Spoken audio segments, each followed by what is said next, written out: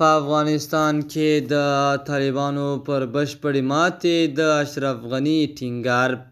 افغان ولسمشر ټینګار کوي چې طالبان باید په افغانستان کې د تل لپاره مات شي او دغې ډلې ته باید له دې ډېره موقع ور نه کړل شي.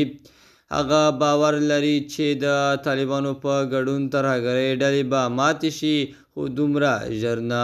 له دې ټولو سره ولسمشر غني یو ځل بیا له طالبانو وغوښتل چې له سولې له بهیر سره یو ځای شئ او ټاکنې له سره بیا پیل کړئ. په سلامونو مو هرکلی کوم د اې اېف جي نیوز چینل درنو لیدونکو. سلام ستړي مه شئ وخت مو په خیر پام مو راګرځوم د دې ساعت تازه او مهم خبر ته او په سر کې یادونه کوم ملګرو که مو چینل نه وي سبسکرایب کړی د تازه او مهمو خبرونو لپاره در سره اې ایف جی نیوز چینل په درنښت سره سبسکرایب کړئ.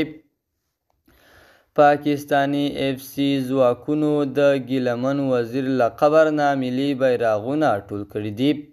تېره شپه د پاکستان نیمه پوځي اېف سي ځواکونه وزیرستان کې د ګیله من وزیر قبر ته ورغلي او د افغانستان درې رنګه ملي بیرغونه یې ترې وړي دي.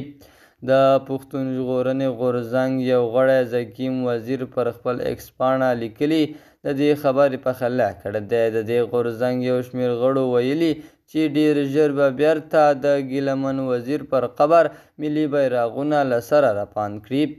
دا په داسې حال کې ده چې څو ورځې وړاندې پاکستانیو چورلکو د ګیله من وزیر پر قبر د افغانستان ملي بیرغ لیدلی و او څو ځلې ورباندې د تعقیب په موخه تاو راتاو شوي وي د ای اف جی نیوز چینل درنو لیدونکو دا و زمونږ د دې ساعت چمتو شوی خبر تر بیا ښې چارې د الله پامان